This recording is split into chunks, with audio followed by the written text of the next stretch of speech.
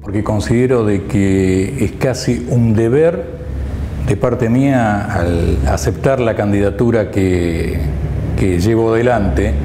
explicarle a nuestro pueblo cuáles son mis ideas, mis propuestas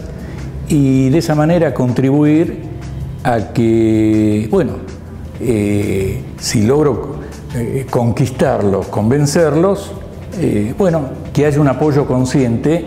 y no como logran conquistar otros candidatos a través de la coacción o la prebenda. La gente que me conoce ya sabe qué es lo que puede esperar porque yo he tenido una conducta coherente eh, a lo largo de mi vida política y bueno, si efectivamente soy honrado eh, a través de la votación a ocupar eh, un cargo en la función política en el gobierno de la provincia, bueno, yo soy una persona que he juramentado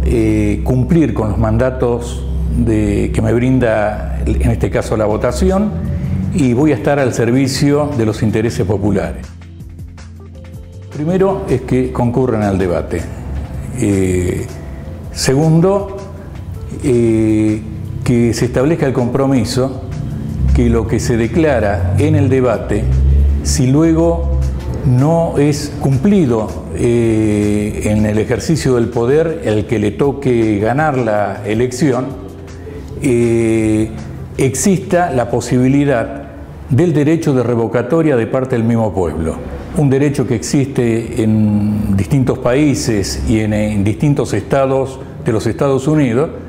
y creo que sería una sana disposición democrática